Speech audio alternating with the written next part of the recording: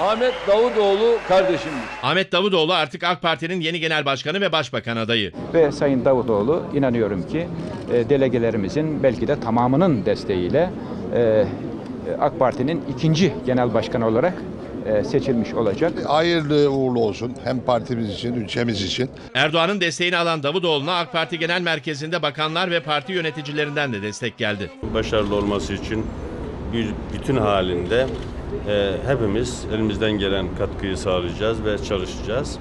Biz kendisine başarılar diliyoruz. Kendisinin arkasında olacağız. Onu destekleyeceğiz.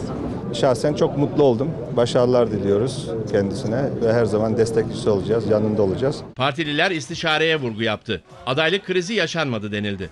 Davutoğlu'nun rahat çalışması için MYK üyelerinin istifası da gündeme geldi ve Davutoğlu'nun yeni kabinesi için şimdiden kulis başladı.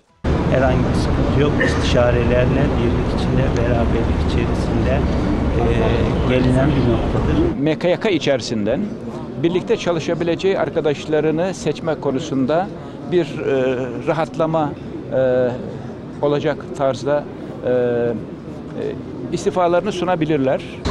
Dedikodu daha çok erken bunları görüşmek için. Davutoğlu'na iktidar kanadından gelen destek muhalefette yerini eleştirilere bıraktı. En sert tepki MHP kanadından geldi.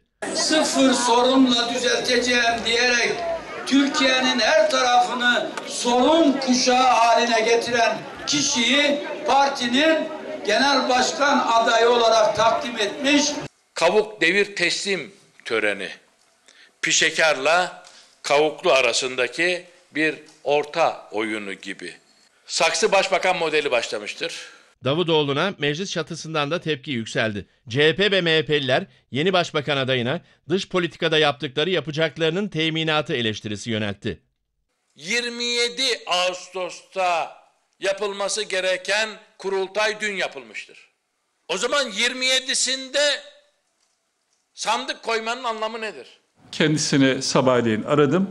Hayırlı olsun dedim ülkemiz adına, Konya adına hayırlı olsun dileklerimi ilettim. Seçilmiş Cumhurbaşkanının Sayın Davutoğlu'nu görevlendirmesinin, aday olarak göstermesinin yasal anlamda, anayasal anlamda, tüzüksel anlamda hiçbir kıymeti harbiyesi yoktur.